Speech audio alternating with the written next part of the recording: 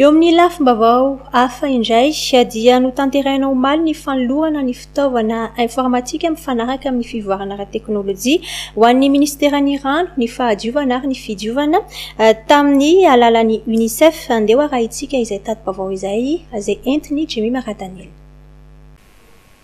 Fampitaovana manara-penitra natao hiatrehana sy ny fanaovana ny fanarahana sy ny tomban'ezaka ao amin'ny Minisiteran'ny Rano, ny Fidiovana ary ny Fanadiovana izay anisan'ny manan-danja eo amin'ny asa atao ho an'ny sehatry ny rano, fanadiovana sy ny fidiovana no natolotry ny Unicef ho an'ny Minisitera omaly. Ahitana laser à couleur sy photocopieuse.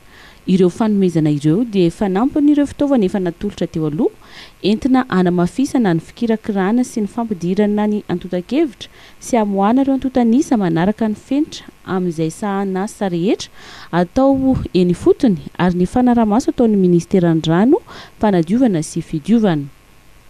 Natrehantsika androany izany ny fandraisana ireo fampitaovana informatika avy amin'ny UNICEF. Fampitaovan'izy ireo hiatrehana indrindra ny fanaovana ny fanarahana sy ny tomban'ezaka ataon'ny Minisitera, izay anisan'ny asa manan-danja tokoa satria n'inon'inona asa atao dia mila izay antontan'isa sy fitaovana maro. manara-penitra hahatrarana ny tanjona. Isaorana etoana ny fanampiana mitohy izay ataon'ny Unicef na ara-pitaovana izany na amin'ny sehatra hafa. Mampiroborobo sy mandray anjara ny fahatratraran'ny Minisitera ny tanjona eo amin'ny lafiny rano, fanadiovana sy ny fidiovana. Ka ny atrehantsika anio izany dia ny fandraisana ireo imprimantes sy ireo zavatra miaraka aminy. tanteraka ny fampidirana ny antontan-kevitra sy ny fanaraha-maso ato amin'ny Minisiteran'ny Rano, Fanatokana ary Fidiovana.